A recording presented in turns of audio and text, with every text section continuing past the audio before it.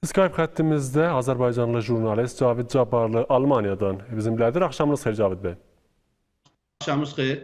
Təşəkkür edirəm. Cavid bəy, e, indi hər kəs deməli Suriya qarşı hərbi hücumdan danışır, amma biz görürük ki, e, Suriyada e, hücumdan sonra biz şənliyin şahidi olduq, müqavimət cəbhəsində bir şadlıq oldu.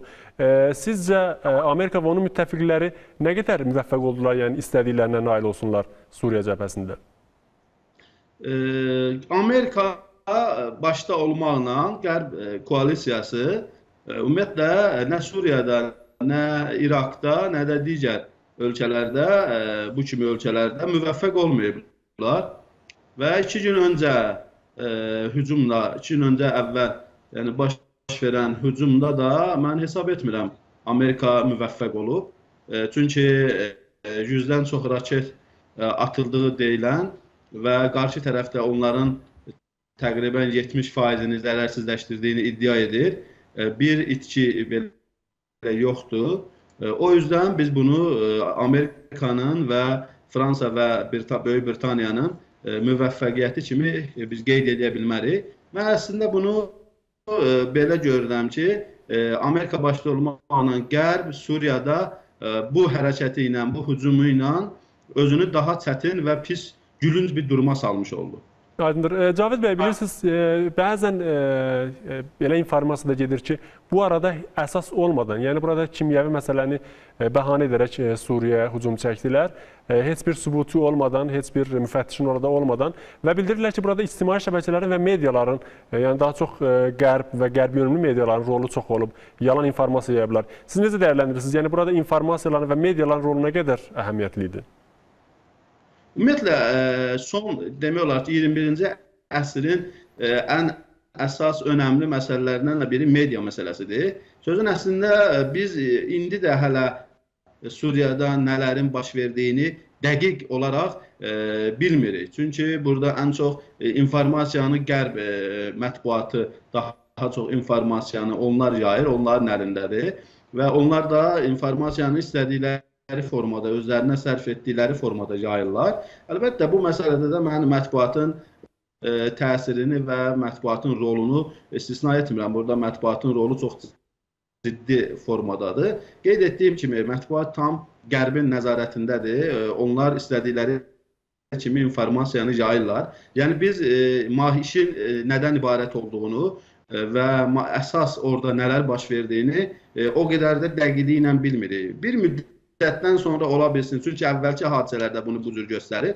Bir müddət əvvəl e, bir müddətdən sonra ə, e, ola bilsin bəzi detallar açıldı və ola bilsin heç açılmadı. Ə, e, tarixdə müəyyən araşdırmalardan sonra bəlli ola bilər. Nüvə məsələsi ilə bağlı gəldikdə isə İraq məsələsində də həmin eyni bəhanə gətirilmişdi. Ümumiyyətlə bu Qərbin e, demək olar ki, e, İslam ölkələrinə İslam ölkələrini e, istismar etmək üçün istifadə elədiyi bir bəhanədir. Amma Cavid bəy biz da, Cavid bəy Cavid bəy biz burada görürük ki, e, deməli bəzi region və hətta müsəlman ölkələri bu məsələyə, yəni ABŞ-a və onun müttəfiqlərinə həm mali dəstək oldular, informasiya dəstəyi verdilər.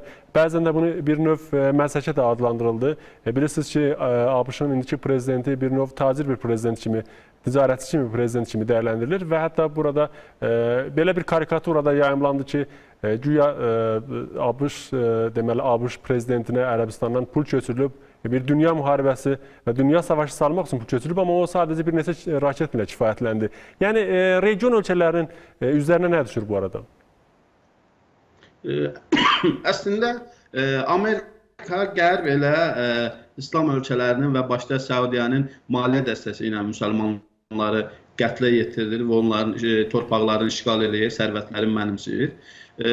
Və mən bir, bir daha bunu xüsusi altın cızaraq qeyd etmək istəyirəm ki, müsəlman ölkələrində əgər müəyyən birlik olsaydı və xalq, ən azı xalq hakimiyyət cütlüyü formalaşsaydı, Qərb və digər hegemon dövlətlər müsəlman ölkələrində bu cür e, vəhşilikləri törədə bilməzdilər.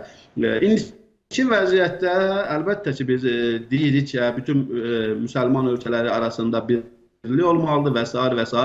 Bunlar hamısı zəruridir. Hər bu cür hadisələrdə ə, açıqlamalar verilir ki, bu cür hadisə artıq bu hadisə müsəlman ölkələrinin birliyini zəruri edir və s. və s. bu cür ə, nəzəri fikirlər səsləndirilir. Amma bu real deyil. Çünki ona görə real deyil ki, e, Qərbin ən böyük uğuru, mən bunu belə deyərdim. Qərbin ən böyük uğuru müsəlman ölkələrində hakimiyyəti işğal eləməkdir. Çünki e, e, bir neçə ölkəni istisna etməklə bütün müsəlman ölkələrinin e, başında, e, rəhbərliyində məhz Qərbin təyin etdiyi şəxslər, e, yəni hakimlər və o rejimlər, Qərbin birmənalı olaraq gətirdiyi və dəstəklədiyi rejimlər. Çox sağ olun. hakimdilər. Əslində buyurun. Çox çox sağ olun. Təşəkkür edirəm e, Cavid bəy e, proqramımıza qoşulduğunuz